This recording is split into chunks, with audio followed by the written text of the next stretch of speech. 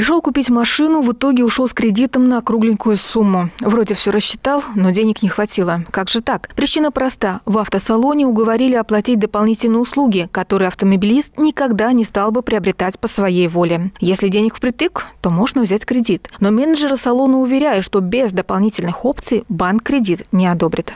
Давайте вы на 120 тысяч рублей застрахуете. Дополнительно. За 120 тысяч рублей.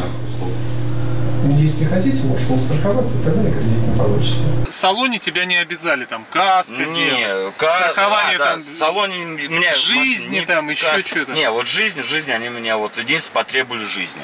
Вот Сколько обошлась страховка? Она обошлась 90 тысяч рублей тут на жизнь, потому что ну, это требование банка было.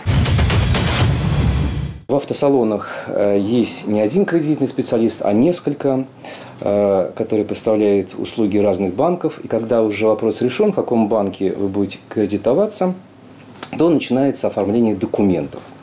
И вот в самый неподходящий момент э, уже вам заявляет в мягкой форме о том, что э, вам одобрили кредит э, вот на такую-то сумму, вот, но при этом вам нужно заключить еще договор на оказание услуг. Я говорю, что они говорят это в более мягкой форме, иногда даже э, потребитель и не понимает, о чем говорят. И уже понимает, что и кредит он взял на сумму гораздо больше, чем ему требовалось, и заключил другие договора после того, как он приезжает домой и смотрит все, что ему выдали из документов. По статистике, большинство автомобилей, которые продают в России, покупают в кредит. И по сложившейся практике автосалоны при оформлении автокредита включают в договор дополнительные услуги, так называемые карты помощи на дорогах, премиум или платинум. Но смысл у них один и тот же, что за определенную сумму э, потребителю э, могут быть оказаны услуги на дорогах. То есть если совершается ДТП, то по его требованию другая сторона должна вызвать эвакуатора, помочь ему эвакуироваться, помочь ему, оказать ему юридическую помощь, составление документов по ДТП и так далее. Вроде бы это все хорошо, но не всем это нужно.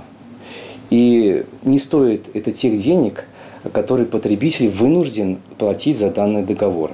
Менеджеры уверяют, что от лишних услуг потом можно отказаться. Однако на деле убрать услуги автосалона из банковского кредитного договора крайне сложно. Еще один риск для клиентов автосалона – невыгодные условия расторжения договора о кредите. По договору покупателю возвращают, например, несколько процентов от уплаченной суммы – 5 или 10 процентов. Это, конечно, очень мало, поэтому люди смиряются с навязанными услугами. Однако следует знать, что у нас действует закон о защите прав потребителей, вот. И в этом законе сказано, что потребитель вправе отказаться в любое время от исполнения договоров работ, оказания услуг. Вот. Ну, в этом случае только надо оплатить исполнителю фактически его произведенные затраты. Поэтому, если такая ситуация произошла, и вы э, не отказались в автосалоне от этих услуг, или увидели только, что вы заключили дополнительные договора дома, если вам эти услуги не нужны, тогда надо сразу потребовать расторжения данных договоров. Какой алгоритм действий при расторжении договора на дополнительные услуги? Надо направить заявление об отказе от договора. Я бы посоветовал направлять заявление не только тому юридическому лицу, с которым у вас заключен договор, а в том числе и в адрес банка потому что все исходит именно от кредитного специалиста в процессе оформления кредитного договора. То есть всем тем, с которым у вас были заключены договора и кредитные и так далее, нужно направить такое заявление и потребовать возврата уплаченных денег. По закону о защите прав потребителей при расторжении договора вам должны возвратить сумму в течение 10 дней со дня предъявления об этом требования. Вот. Если денежные средства возвращены не будут, тогда прямая дорога в суд.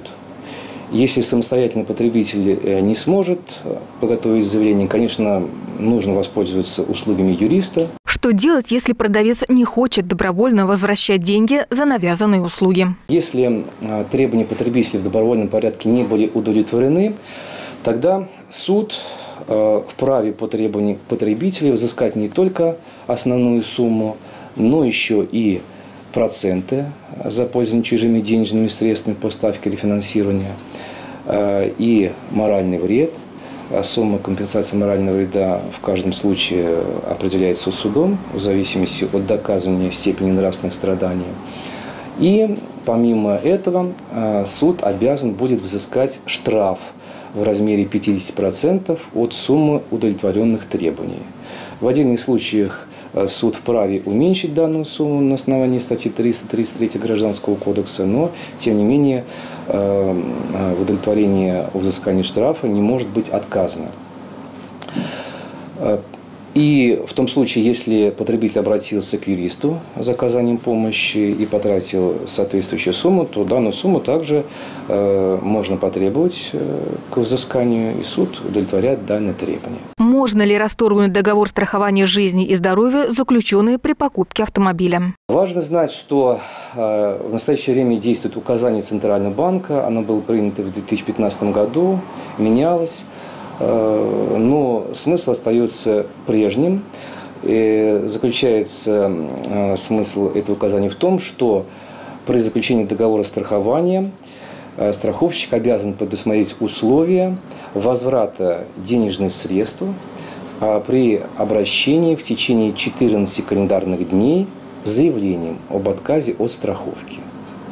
Вот. В этом случае в течение 10 рабочих дней после получения соответствующего заявления страховая компания обязана возвратить всю сумму. Как правило, страховщики выполняют требования клиентов, так как в противном случае последует наказание от Центробанка. Но бывает, что отказывают, либо затягивают с возвратом денег под разными предлогами. Например, просят представить заявление по образцу, который находится на сайте и так далее. В этом случае можно сразу составлять заявление в суд. При этом потребовать не только основную сумму, но и неустойки, и штраф, и моральный вред. Куда можно обратиться с жалобами? Можно обратиться а, в Роспотребнадзор.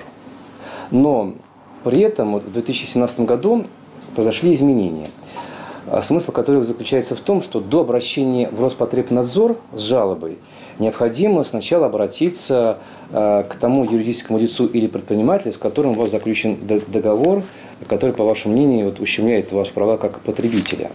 И если от этого юридического лица или предпринимателя не поступил ответ – либо не удовлетворено в полном объеме ваши требования, тогда только вы можете обратиться с жалобой в Роспотребнадзор. Это будет являться основанием для проведения внеплановой проверки. А, за а, вот, навязывание услуг предусмотрена административная ответственность и для должностного лица, и для юридического лица. То есть, если Роспотребнадзор усмотрит состав административного правонарушения – тогда в отношении этого юрлица или предпринимателя будет составлен протокол, и это лицо будет привлечено к административной ответственности. В чем причина того, что сотрудники автосалонов продолжают навязывать своим клиентам ненужные им услуги? Очень многие, я знаю, просто-напросто с этим смиряются. Они посмотрят договор, в договоре сказано, что при отказе от э, исполнения договора сумма либо не возвращается, либо будет возвращена сумма в процентном отношении, и они понимают, что ну, смысла обращаться нет никуда, это я потрачу кучу времени, нервов, денег, а смысла никакого не будет. Вот. Поэтому очень многие не обращаются, и, и наверное, это является вот той основной причиной, почему же все время это у нас и происходит, из года в год на протяжении многих лет. Я считаю, что нужно отстаивать свои права, нужно их знать и за них бороться. Только в этом случае мы можем надеяться на то, что со временем вот это злоупотребление э, нас минует.